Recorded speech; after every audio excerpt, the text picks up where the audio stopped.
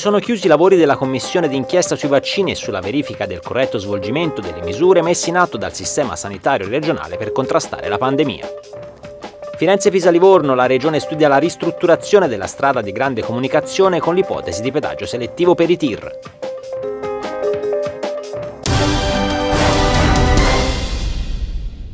Commissione vaccini, le relazioni di maggioranza e minoranza.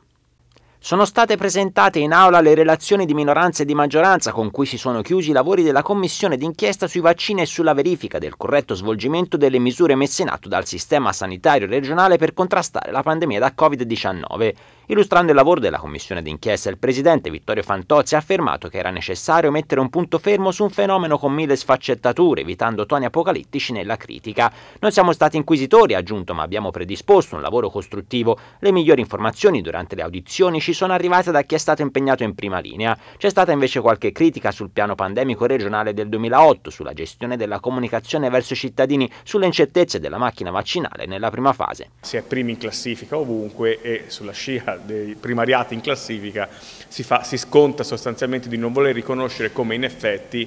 eh, taluni ritardi, talune eh, situazioni eh, dettate da una impreparazione o da una cattiva comunicazione possono essere costati chiaramente parte delle vittime che registriamo all'interno eh, del fattore Covid in Regione Toscana. Eh, nonostante questo, il lavoro costruttivo che abbiamo prodotto eh, mette in risalto non soltanto la straordinaria capacità di resilienza eh, di tutto il sistema sanitario regionale, eh, di tutto eh, il, il, terzo settore di questa regione toscana che è un patrimonio e una ricchezza inestimabile che va oltremodo valorizzato rispetto a quanto si riesce a fare ora e di quanto sostanzialmente comunque ci sia anche nella divergenza delle conclusioni di questo lavoro la volontà abbastanza convergente in realtà di arrivare a recuperare un rapporto migliore della rete ospedaliera con il territorio, partendo chiaramente dagli ospedali di periferia, di lavorare in, chiaramente in attesa degli interventi del governo sulla carenza di personale, la formazione del personale e la dislocazione di questo personale, però un punto fondamentale serve perché abbiamo riportato al centro di tutta questa storia il cittadino, il toscano, c'è l'esigenza anche di tornare a formare, ed educare il toscano sotto i profili dell'alfabetizzazione della digitalizzazione e anche della capacità sostanzialmente di poter avere dei riferimenti chiari in situazioni come queste che chiaramente auspichiamo non si verifichino più. A nome della maggioranza è intervenuta la vicepresidente della commissione d'inchiesta Federica Fratoni. Anche lei ha apprezzato il grande lavoro svolto, riconoscendo al presidente di avere condotto i lavori con equilibrio, correttezza e serietà in un contesto non facile. Alla fine di questo lungo lavoro abbiamo evidenziato il fatto che la regione toscana si è trovata a gestire, come le altre regioni, una situazione straordinaria, inedita e di caratura globale, per cui con un panorama assolutamente nuovo e strumenti inizialmente molto carenti, pensiamo insomma, mancavano le mascherine, mancavano i respiratori. Devo dire che ricostruendo anche il percorso normativo che la Regione ha messo in campo si vede come si sia da subito mobilitata la Giunta, il Presidente Rossi nel mettere in campo con le prime ordinanze intanto un modello di governance molto stretto, molto snello che poteva basarsi anche sulla riorganizzazione del sistema sanitario in soltanto tre aziende e quindi con una rapidità di diffusione delle decisioni davvero eh, unica e poi le decisioni di allestire eh, oltre 280 postazioni di terapia intensiva nuove, l'istituzione delle USCA che a regime sono arrivate ad essere 160 unità, eh, un lascito che ancora oggi abbiamo e che dovrà essere ulteriormente valorizzato proprio nella fase di costruzione della medicina territoriale, pensiamo agli alberghi sanitari, ai percorsi protetti negli ospedali per i Covid e non Covid, eh, una riorganizzazizione profonda che, eh, alla quale comunque la Regione ha saputo rispondere in maniera efficace. Durante il dibattito in aula la consigliera Silvia Nofera ha evidenziato come nonostante il sistema toscano abbia retto, gli errori ci sono stati come era plausibile vista la straordinarietà della situazione. È una relazione che vorrebbe essere non soltanto una memoria storica per futuri ricercatori, ma uno strumento attuale per capire che cosa è stato fatto sia nel bene che nel male e ehm, quello che eh, è venuto fuori eh, sicuramente sono stati fatti degli errori dovuti anche alla situazione eccezionale della pandemia ma anche a delle mancanze eh, soprattutto di programmazione e di pianificazione, eh, che erano evidenti. Oggi possiamo affermare che se non ci fosse stata questa commissione d'inchiesta, i cittadini non avrebbero mai saputo che in Regione Toscana c'era un piano pandemico aggiornato al 2008 e che non solo non era stato aggiornato, ma non era mai stato attuato neanche in minima parte. Questo che cosa ha voluto dire? Ha voluto dire che ci siamo trovati di fronte a una emergenza completamente impreparati, ma per quanto fosse fosse condivisibile il fatto che era impossibile pensare a stoccare grandi quantitativi di dispositivi di protezione individuale nei magazzini, vista l'eccezionalità della situazione, l'attuazione di un piano pandemico ci avrebbe trovato pronti non solo nella catena di comando, ma anche nella gestione della comunicazione verso l'esterno, verso quei cittadini che si sono trovati indifesi, ignari e soprattutto soli di fronte a un problema che era eh, fondamentalmente nuovo. Per il portavoce delle opposizioni, Marco Landi, la Regione ha mancato di coraggio, non ha avuto il coraggio di fare qualcosa di più per rispondere ai più deboli, ha affermato, ricordando il contributo instancabile di tutti gli addetti ai lavori del mondo della sanità. Abbiamo fatto un lavoro eh, molto lungo e completo su questo eh, e abbiamo dovuto anche far rilevare quelle che sono state le criticità della gestione anche da parte della Regione Toscana che da parte nostra non ha avuto eh, coraggio, soprattutto nella prima fase quando a livello governativo eh, gestiva Arcuri. Secondo noi l'arrivo di Figliolo ha poi cambiato le linee, si è andati a vaccinare gli ultra ottantenni, ma nella fase precedente ci siamo dimenticati per esempio che eh, non avevano priorità eh, i disabili, i loro caregiver e su questo la Regione Toscana non ha fatto niente. E poi anche sulle vaccinazioni delle, degli, degli anziani, degli ultraottantenni. Per il consigliere d'Italia Viva Stefano Scaramelli è necessario istituire una commissione simile anche a livello nazionale. Ma la Toscana è stata la prima, anche su nostra richiesta, a fare una commissione d'inchiesta a livello toscano per verificare cosa, cosa, ha funzionato, cosa non ha funzionato sotto la pandemia in maniera molto acritica ma veramente in maniera oggettiva per vedere e di comprendere come è stata la risposta della Regione Toscana a quell'esperienza. Da Italia Viva parte una richiesta forte, è mio l'emendamento di richiesta all'ordine del giorno per chiedere al governo di istituire anche a livello nazionale una commissione d'inchiesta. Lo stiamo chiedendo da anni anche a livello nazionale con il nostro leader Matteo Renzi e oggi è stata l'occasione per depositare un atto ufficiale con la quale appunto partendo dalla Toscana si possa chiedere anche a livello nazionale una commissione d'inchiesta perché nel mentre le persone morivano, nel mentre le persone venivano soccorse, venivano in alcuni casi curate, nel mentre il volontariato e i medici davano tutto se stesso per aiutare gli altri, c'era chi faceva affari magari sulla disgrazia degli altri e questo va messo alla luce, va fatta una commissione d'inchiesta con poteri parlamentari quindi dalla Toscana, dall'esperienza positiva di un'indagine, ovviamente conoscitiva, così come avviene a livello toscano, parte una richiesta forte a livello nazionale perché questo possa essere raccolto anche a livello nazionale e a quel punto fare una commissione permanente d'inchiesta per verificare effettivamente quello che ha funzionato e soprattutto quello che non ha funzionato quando al governo c'era Giuseppe Conte. Con 9 milioni di vaccinazioni, con la Toscana tra le tre migliori regioni italiane, secondo la Fondazione Gimbe, nella gestione di un'emergenza mai vista prima, si può parlare di sistema efficiente, di momento qualificante alto nella storia della Toscana, concluso il presidente della regione Eugenio Giani. Eh, stamani è stata la dimostrazione eh, nel dibattito e nella evidenziazione dei temi di quanto la Toscana sia stata complessivamente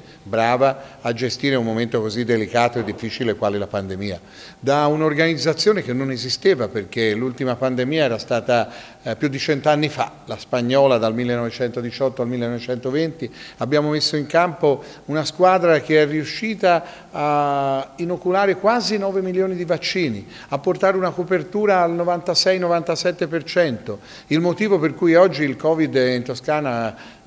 quasi non esiste più, eh, stamattina non c'erano nemmeno 200 contagi, è proprio perché eh, la nostra macchina organizzativa, la nostra capacità di rapporto con i cittadini, le energie che hanno visto coinvolto il sistema sanitario regionale con tante persone che come organizzazioni di volontariato, medici e infermieri in pensione, eh, hanno contribuito a creare questo meccanismo, ha consentito di superare il Covid vantati dallo stesso generale Figliolo, commissario nazionale, come una delle due o tre regioni eh, in assoluto più efficaci nelle misure e nel modo di approcciare quello che è stata la questione della pandemia. Fipili verso il pedaggio selettivo. L'obiettivo è quello di potenziare la FIP lì con corsie d'emergenza e dove possibile anche con la terza corsia grazie ad un intervento strutturale che comporta ingenti spese non sostenibili con risorse pubbliche di cui godiamo. Così il presidente della regione Eugenio Gianni ha risposto in aula all'interrogazione del portavoce dell'opposizione Marco Landi in merito all'introduzione del pedaggio per i tir sulla FIP lì. La giunta sta lavorando alla creazione di Toscana Strade, la società che gestirà la FIP lì, ipotizzando di applicare un pedaggio selettivo ai soli tir che transiteranno sull'arteria. E abbiamo intenzione dopo lo studio fatto da KPMG eh, di provvedere alla realizzazione di una società ad hoc, eh, una società in house della regione, Toscana Strada SPA, che si proponga non l'intervento di rincorsa alla manutenzione stradale nella FIPILI, ma possa, eh, certo, a tratti, con scansioni diverse, ma provvedere a allargarla e a potenziarla, allargarla attraverso la terza corsia dove è possibile e altrimenti realizzando corsie d'emergenza che oggi non ci sono. Per far questo occorrono almeno 15-20 milioni l'anno e per far questo probabilmente sarà opportuno il pedaggio selettivo, ovvero non a tutti i veicoli ma ai tir che possono essere controllati con il sistema satellitare, con eh, cinque grandi strutture che eh, siano archi metallici e che possano controllare, verificare e, e essere rete di un, eh,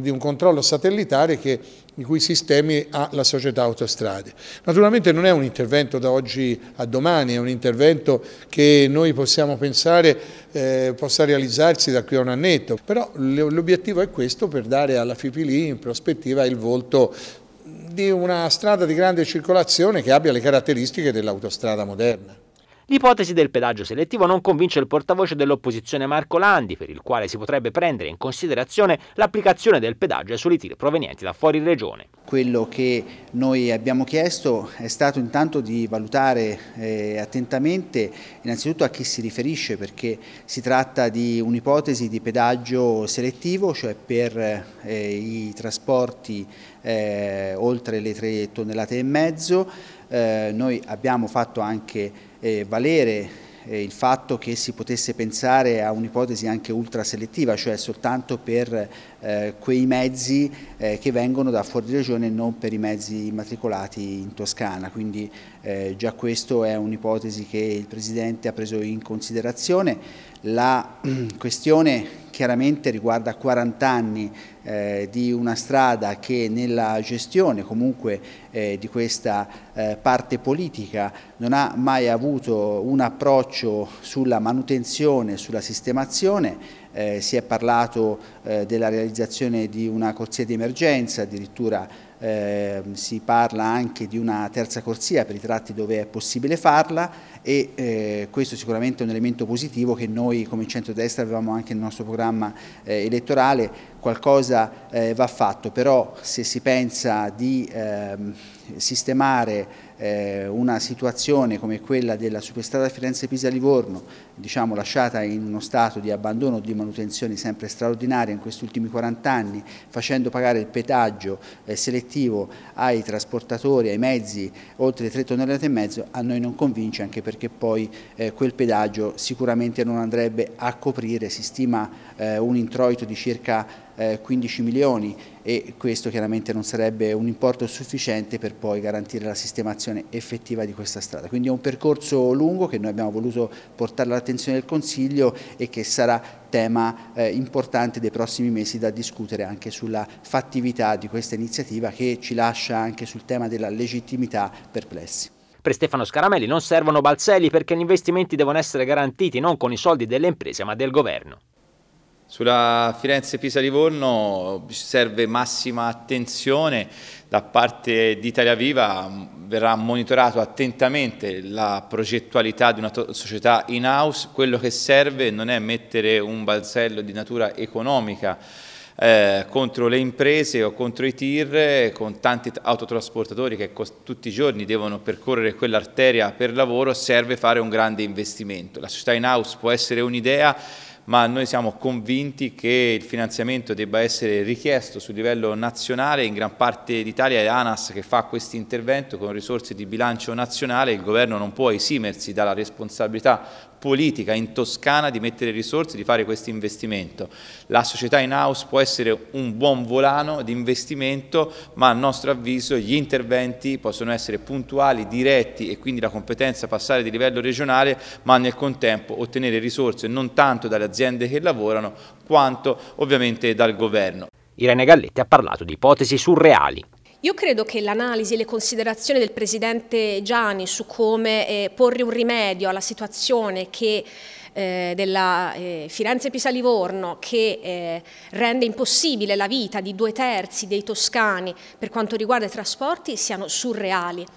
Sta parlando una persona che non si rende conto di cosa significhi probabilmente riuscire a gestire un'arteria che negli anni 90 è nata con un progetto già vecchio, con delle gravi criticità e per la quale lui sta pensando soltanto a trovare un sistema per creare una SPA dai costi non meglio definiti, probabilmente per mettere su un CDA di persone nominate, quindi per interessi che non hanno nulla a che fare con la viabilità e soprattutto basandosi su un rapporto che al momento nessuno di noi ha visto, un rapporto che è sul piano finanziario, e quello probabilmente sì, sarà riuscito a trovare un sistema per far quadrare i conti, ma sicuramente non tiene conto di cosa significa per, eh, per, tutte le aziende, per tutto il sistema manifatturiero, eh, commerciale, il tessuto economico della Toscana che nel corso degli ultimi 30 anni eh, è cresciuto intorno a questa arteria, significa non capirne le conseguenze economiche in un momento, tra l'altro, una circostanza eh, di aumento generalizzato dei prezzi che non ha precedenti. Significa scaricare sull'utente finale i costi di quel pedaggio, perché questo saranno il significato e se non saranno scaricati sull'utente finale saranno scaricati sulle aziende. E comunque sia ci sarà un sistema di rilevamento del pedaggio, che ancora non abbiamo capito come sarà, che dovrà essere previsto, valutato, perché quanto ha detto su sistemi satellitari o altre idee surreali e futuristiche non sta in piedi.